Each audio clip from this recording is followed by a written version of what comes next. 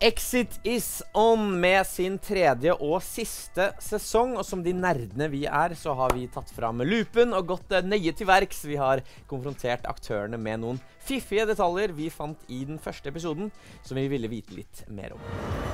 En av eh, de første scenene finner sted eh, i Atle Antonsens bar Meyers på Grünerløkka. Som jeg også var med ja. Ikke sant? Ja, verdt å nevne redaksjonelt. Hvorfor har denne baren fått navnet Peters i serien? Hvorfor akkurat Peters? Det er først og fremst fordi det er Peter som er etterarbeidskoordinator. Han la på sitt navn eh, som et eh, nokså freidig forslag for hvorfor. Men det virker kanskje litt som reklame hvis det hadde stått Meyers midt i hele bildet. Så, så derfor så ble det endra. Men nå vet jo folk det likevel, siden du spurte om det. Ja. Og så har dere fått med dere en vaskeekte torpedo i denne sesongen her. Jannik Iversen. Men det er klart han skulle inn i rollen som torpedo. Du, det, det, er så enkelt som at Øystein ringte han bare for å finne ut hvordan er det en torpedo jobber, sånn rent fysisk. Og så snakket de sammen, og så tenkte faen, kan du ikke bare gjøre det? Istedenfor at jeg må overføre den kunnskapen til en annen, så kan, kan, ikke du bare gjøre det? Så det, det var den enkle forklaringen. Ja, han stilte opp, han.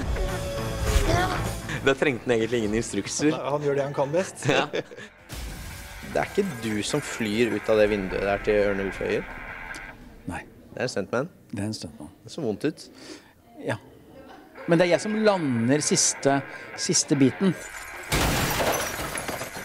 Hvordan gjorde dere det? Da står vi bare med en viss eh, form for høyde, og så kaster jeg meg ned. Og så alt glasskår og sånn, det er ikke glasskår, det er noe, eh, det er noe mykt noe. Bare mykt. Og det er noen ganger vanskelig å filme med kamel.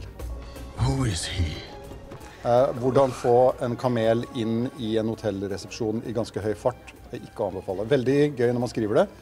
Uh, i veldig dumt når man skal filme det. Det å prøve å ikke få den som satt oppå kamelen drept idet den skulle innunder toppen av døra, det var verre. Og så krevde en del rengjøring?